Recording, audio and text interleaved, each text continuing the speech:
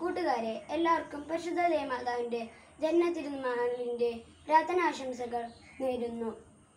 ദാവീദ് വംശത്തിൽപ്പെട്ട ജോവാക്കിമിന്റെയും അന്നയുടെയും വയസ്സുകാലത്ത് ദൈവപിതാവ് അവർക്ക് നൽകിയ മകളാണ് പരിശുദ്ധ കനിക മറിയം അമലോത്ഭവിയായ കന്യകാമറിയത്തെ അവളുടെ മാതാപിതാക്കൾ മൂന്നാം വയസ്സിൽ ദേവാലയത്തിൽ സമർപ്പിച്ചു.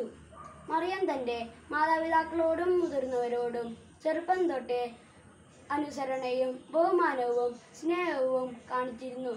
ഈ മറിയത്തെയാണ് ദൈവപിതാവ് തന്റെ പുത്രനെ ജന്മം നൽകാൻ തിരഞ്ഞെടുത്തത്.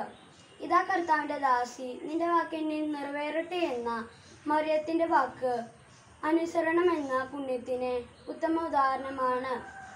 അനുസരണം ബലിയേക്കാൾ ശ്രേഷ്ഠം എന്നാണല്ലോ ബൈബിളിൽ പറയുന്നത്.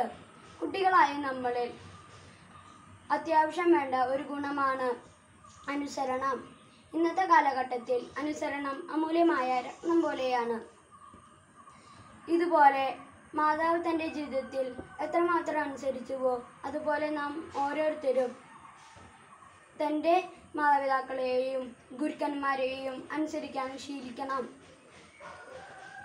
മാതാവിന്റെ ജന്മതിരുനാൾ ആഘോഷിക്കുന്ന ഈ അവസരത്തിൽ നമുക്കെല്ലാവർക്കും അനുസരണം എന്ന പുണ്യം നമ്മുടെ ജീവിതത്തിൽ പകർത്താൻ നമുക്കെപ്പോഴും പരിശ്രമിക്കാം. ജയ് ക്രൈസ്റ്റ്.